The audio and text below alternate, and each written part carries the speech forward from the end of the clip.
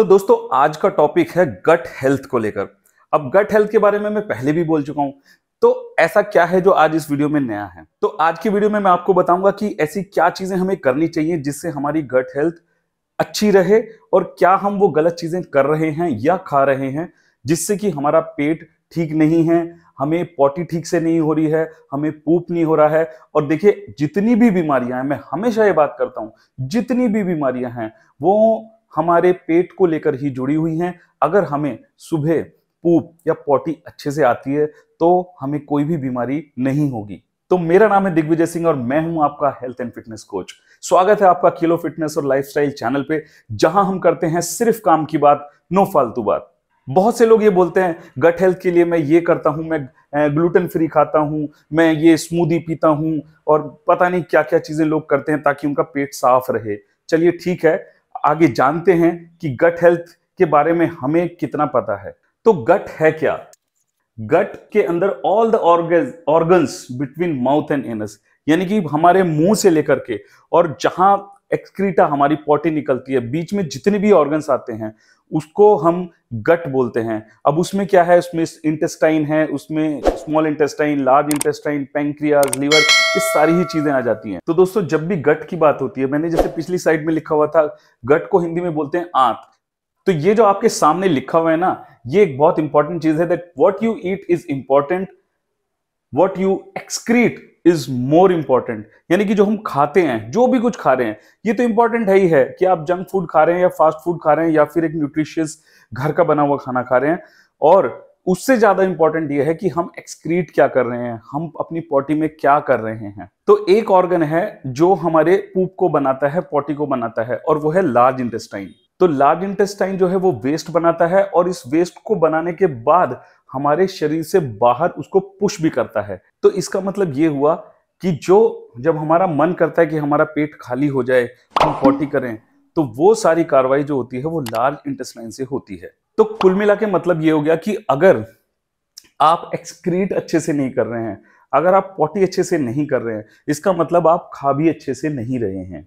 तो इसका मतलब ये हो गया कि अगर हमें पॉटी ठीक से नहीं आ रही है, इसका मतलब हमें अपने कुछ खाने पीने के और अपनी कुछ आदतों में सुधार डालना है। इसके बारे में वीडियो में हम आगे बात करेंगे। तो अब तक हमने ये बात समझ ली कि अगर हम सुबह हम अच्छे से पूप कर पा रहे हैं if you are pooping first thing in the morning अगर आप सबसे पहले सुबह उठते के साथ ही एक अपना पेट खाली करते हैं वॉशरूम में जाते हैं पॉटी करते हैं तो इसका मतलब ये है कि आपकी जो गट हेल्थ है, वो बहुत अच्छी है।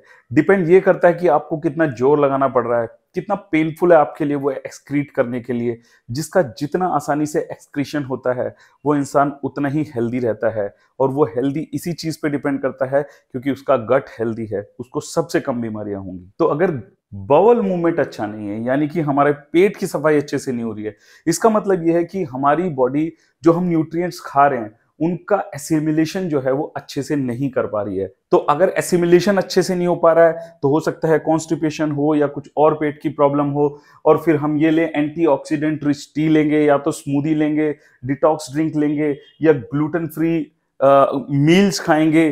किस लिए? जिससे कि हमारा जो बॉवल मूवमेंट है वो अच्छा हो जाए और हमारा जो पेट है वो साफ़ हो जाए। लेकिन मैं आपका दिल तोड़ना चाहता हूँ कि इन सब चीज़ों का कोई भी फ़ायदा नहीं है तो फ़ायदा किस चीज़ से है, वो हमें क्या खाना चाहिए, आगे वीडियो में आपको बताता हूँ। तो अच्छी गट हेल्थ के लिए हमें क्या खाना चाहिए क्या क्या हैबिट्स अपनानी चाहिए, वीडियो में थोड़ी सी देर में हम आपको बताऊँगा, लेकिन उससे पहले हम ये देख लेते हैं कि एक चीज़ है जिसको हम बोलते हैं ब्रिस्टल स्टूल चार्ट ये एक ब्रिस्टल भाई साहब थे गैस्ट्रो एंट्रोलॉजिस्ट बड़ा मुश्किल है गैस्ट्रो एंट्रोलॉजिस्ट तो इन्होंने एक स्टूल चार्ट बनाया था मैं आपको दिखा देता हूँ। हम्म, तो ब्रिस्टल स्टूल चार्ट कुछ इस तरीके का है जो ये टाइप वन है।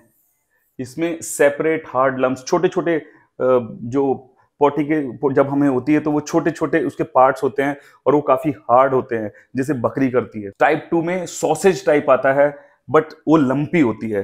टाइप थ्री में again it is sausage like but इसके सरफेस पे, यानी कि जो पॉटी होती है इसके सरफेस पे क्रैक्स होते हैं। आप लोग सोच रहे हो यार, क्या बात डिस्क्राइब कर रहा है? लेकिन ये बहुत इंपॉर्टेंट है। आप जरा जल्दी से मैं इसको समझाऊँगा। टाइप फोर और टाइप थ्री अगर हमारी पॉटी इस ब्रैकेट में आती है तो वो एक हेल्दी पूप मानी जाती है। टाइप फाइव में है सॉफ्ट बॉब्स मतलब छोटे छोटे टुकड़े होते हैं, लेकिन बहुत सॉफ्ट होते हैं। नंबर वन में हैवी हार्ड लम्ब्स थे, ये सॉफ्ट हो गए हैं। टाइप सिक्स में और फ्लफी टाइप हो जाती है, पतली हो जाती है, बिल्कुल। और टाइप सेवन में तो लूज मोशन ही हो गया लिक्विड ही हो गई। तो ये जो ब्रिस्टल चार्ट स्टूल चार्ट था, मैंने आपको इंटरनेट पे दिखाया। इसकी मेन चीज़ ये कि जो टाइप थ्री और टाइप फोर वाली जो हमारी स्टूल है, वो सबसे हेल्दी मानी जाती है। हमारा एम ये होना चाहिए कि हमारा जो स्टूल है, वो बहुत हार्ड भी ना हो या वो बहुत सॉफ्ट भी ना हो। तो इस वीडियो को देखने के बाद आप लोग भी गूगल पे जाके चेक कर सकते हैं। ब्रिस्टल स्टूल चार्ट उसमें और अच्छे से समझाया गया है। लेकिन मेरा एम इस वीडियो का ये है कि हमें ऐसा क्या करना चाहिए कि हमारी जो पॉटी है वो टाइप थ्री और टाइप फोर में आ जाए ताकि हमारा पेट रहे हेल्दी और हमें ना हो कोई भी बीमारी। What should be done for healthy poop ये तीन पॉइंट्स लिखे हुए मैंने। तीनों पॉइंट्स बहुत क्रिस्प हैं। फटाफट बताऊँगा। इसमें सबसे पहला और इंपॉर्टेंट पॉइंट है sleep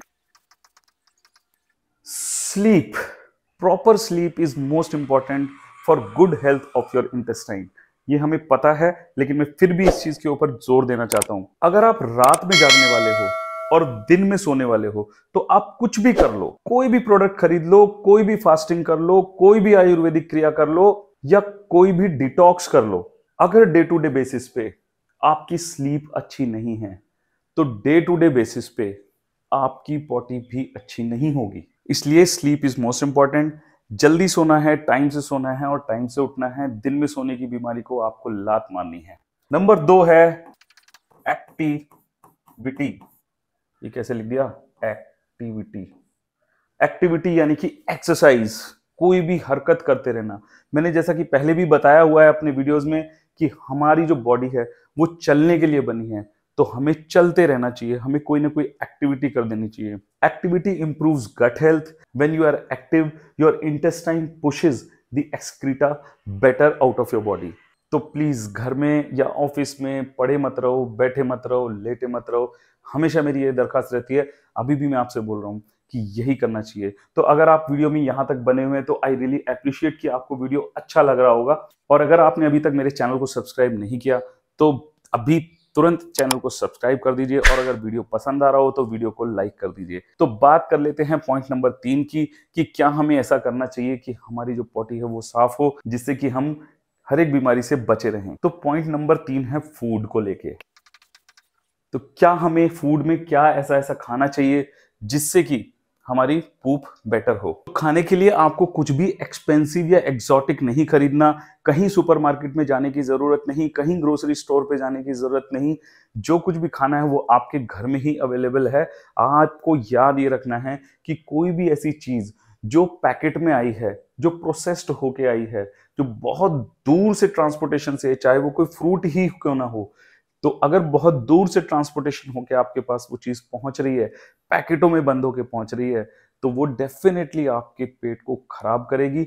उस चीज़ को किसी भी सूरत में आपको अवॉइड करना है। तो ब्रिस्टल स्टूल के चार्ट पे नंबर तीन और नंबर चार पे आने के लिए हमको वही फूड्स खाने हैं जो लोकली ग्रोन हो, जो सीजनल हो, हमारे घर के बने हुए हों ऑनलाइन आपने किसी रेस्टोरेंट से खाना ना मंगाया हुआ हो तो मेरी लिस्ट में सबसे पहले आता है food number one rice plus ghee plus salt rice एक प्रीबायोटिक फ़ूड है। अब प्रीबायोटिक फ़ूड वो होता है जिससे हमारे जो पेट के जो हेल्दी बैक्टीरियाज हैं, उनकी संख्या बढ़ती है। प्रीबायोटिक फ़ूड जो है वो उन बैक्टीरियाज का जो है वो खाना होता है और जो घी है, उससे हमारे इंटेस्टाइन की जो लाइनिंग है, वो बहुत स्मूथ हो जाती है, जिसकी वजह से हमें एक्सक्रीटा को पुश करने में बहुत आसानी होती है। बहुत सारे लोग जो है ना वो राइस को खाना बंद कर देते हैं क्योंकि राइस को इतना बड़ा कल्प्रिट बना दिया गया है कि राइस खाने से वेट गेन हो जाएगा राइस खाने से ग्लूकोज लेवल बढ़ जाएँगे डायबिटीज़ हो जाएगी और पता नहीं क्या क्या कि इसमें ग्लूटन है और ये है, वो है। इस तरीके की चीज़ें जो हैं, आप ये मान करके चलिए कि आँख बंद करके किसी पे भरोसा मत कीजिए, क्योंकि राइस हमारा एक मेन खाना रहा है, हमेशा से ही हिस्टोरिकली और वो बहुत इंपॉर्टेंट है हमारे लिए। इनफैक्ट जो इतने भी स्पोर्ट्समैन हैं, जितने भी बॉडी बिल्डर्स हैं, जितने भी एथलीट्स हैं वो सब अपनी डाइट में राइस को ज़रूर शामिल करते हैं। लेकिन कुछ लोग वेट कम करने के लिए जो राइस को बंद कर देते हैं, उसकी वजह से हमें पूप करने में बहुत प्रॉब्लम होती है। तो अगर पूप करने में प्रॉब्लम होती है आपको तो मेरे कहने से कुछ दिनों के लिए ही सही राइस के साथ घी मिला के स्पेशली अगर लंच में खाते हैं आप तो ये ज़रूर ट्राई कीजिए। और मेरा ये दावा है कि आपका जो कॉन्स्टिपेशन है या जो स्टूल में प्रॉब्लम है, वो बिल्कुल ठीक हो जाएगी। हमारे जो पेट में बैक्टीरिया हैं, वो जेनेटिकली हमको हमारे दादा परदादाओं से सेम बैक्टीरिया आ रहे हैं।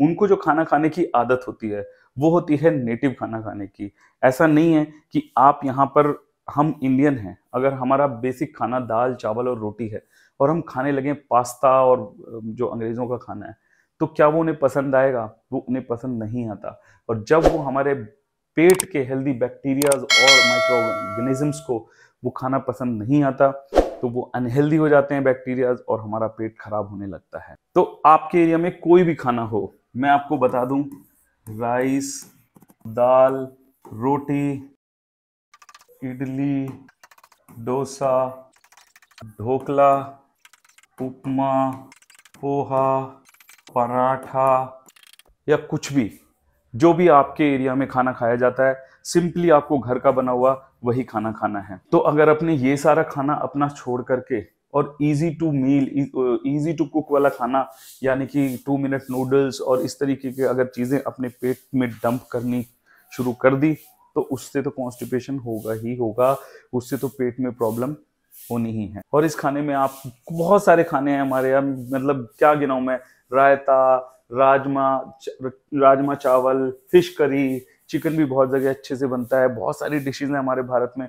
तो जिस इलाके में जो भी डिशेज हैं, जो भी हमारा खान पान है, हम उसको स्टिक करके रहें, अगर उसी को खाएँ तो हमें कभी भी प्रॉब्लम नहीं होगी।